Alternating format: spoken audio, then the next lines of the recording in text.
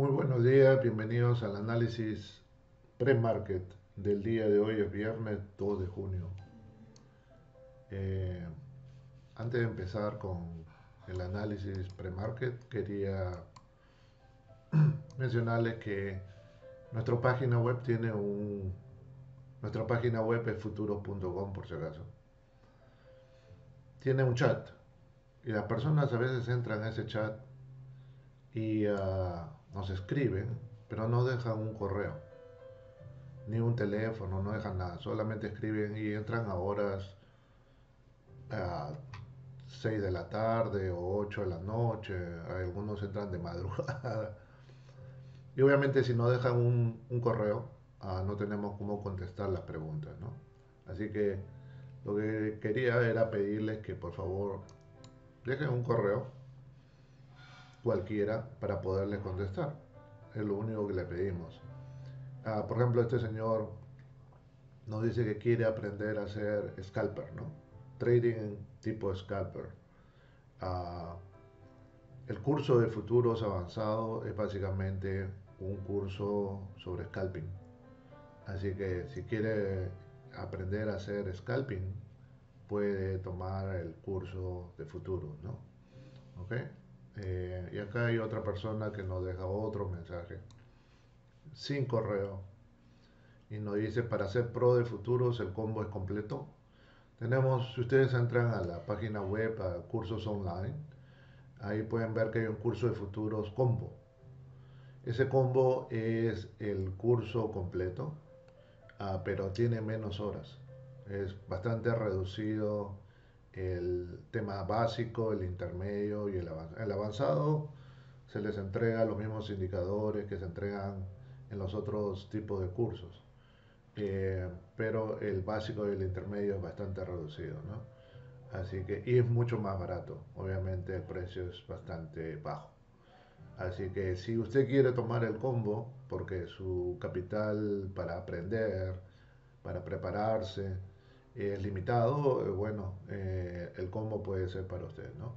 Eh, si usted quiere tener más horas de educación, más completo el curso, puede tomar el curso de futuro regular, ¿ok? Y nuevamente, por favor, dejen su correo electrónico si quieren que le contestemos este tipo de mensajes, ¿no? Bien, vamos a empezar ahora sí con el análisis del día de ayer. Dibujamos este canal antes de la apertura como siempre y el mercado estaba bajista. A la apertura del mercado se salió del canal y después se volvió a subir, se volvió a meter, como pueden ver ahí, al canal. Esta era la línea de tendencia de 15 minutos y si le estiramos podemos ver que el mercado a las 10 y 40 de la mañana finalmente cruza la línea de tendencia y empieza a subir y se pone arriba del canal. Ahí lo pueden ver, si estiramos un poco el canal, pueden ver que se pone no solamente arriba, sino lo utiliza como punto de apoyo. Ok, lo voy a hacer más grande para que lo vean mejor. Lo utiliza como punto de apoyo para empezar a subir. Ahí lo tienen, apoyo, apoyo, se volvió a apoyar, otro punto más y finalmente acá es donde despega, ¿no? Esto fue a las 11 y 15 de la mañana y de ahí subió, subió, subió, subió, subió y finalmente terminó arriba el mercado, o sea, bastante positivo el día de ayer. Vamos a verlo en barras diarias ahora. Ahí lo tienen. En barras diarias el mercado está subiendo el día de ayer fue una buena subida, eh, una buena tendencia alcista. Y el día de hoy parece va a continuar subiendo, ¿no? Este es el día de hoy viernes, esto fue ayer jueves. O sea, tenemos un día positivo para hoy, 60 minutos, ahí lo tienen. Vamos a dibujar una línea de tendencia que va algo así y eh, después lo ponemos en 15 debe ser igual prácticamente. Y lo dejamos en 5 y lo ponemos por aquí. Y le decimos always on top. Y este hacemos así. Ok perfecto. Bien ahí acá vamos a encontrar soportes y resistencias ¿no? como siempre el primero es este soporte acá abajo. Ahí lo tienen.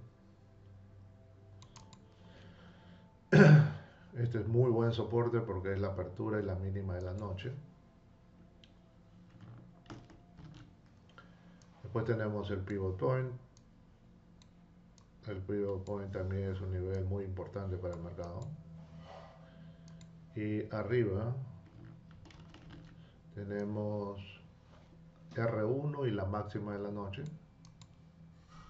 Acá lo tienen estas dos líneas de acá es resistencia. Y finalmente tenemos R2 acá arriba. Entonces en resumen, tenemos un día positivo para hoy, 80% de probabilidades de que el mercado continúe subiendo a la apertura y vaya a buscar la máxima de la noche y haga esto de acá. Eh, pero, como ustedes ya saben, a veces el mercado se le da por cambiar de dirección por completo. Este va a ser buen soporte si lo llega a romper es porque el mercado se ha puesto bastante negativo. Primero va a ir a buscar el, pivot point, obviamente. Acá también va a encontrar compradores y de repente finalmente lo rompe y va a ir a buscar ese 1, ¿no? que está acá abajo. Pero para eso tendría que ponerse bastante negativo el mercado y eso está por verse todavía. Nuevamente después de las 9.30 hora de Nueva York, apertura de Wall Street. Por, por hoy día, eso es todo. Buen fin de semana. Nos escuchamos el día lunes.